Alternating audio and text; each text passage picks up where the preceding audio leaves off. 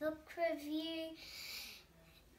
And today, this is my first episode, and the book I'm reading today is called Pearlie in the Park and illustrated by Wendy Harmer. By Wendy Harmer, illustrated by Mike Zarb.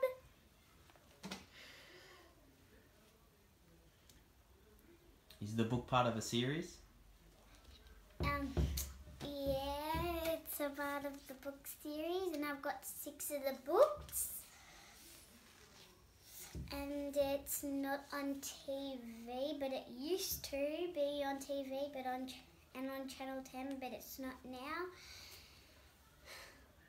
So, what was the book about? It's about Pearlie writing a list for all the animals in Jubilee Park to know what they're doing at the exact right time. And there's two naughty rats, Scrag and Mr. Flea. Take it down and then they hide in the drain and write a new sign up and then put it back on the front gate.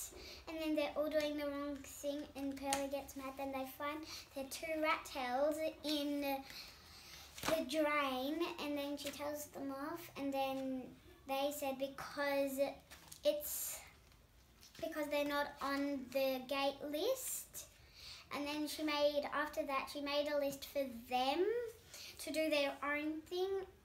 And some of them was rats put plastic bags from pond rats clear icy pole sticks from drains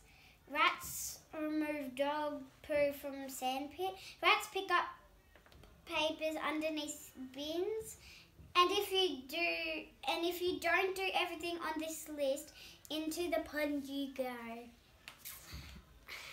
Now, was the book an easy read or was it hard to read? it was easy but some of the words were a bit hard. And it was like good and my most favorite part is like when uh, the rats take it down and write the new list and all the animals get the wrong thing done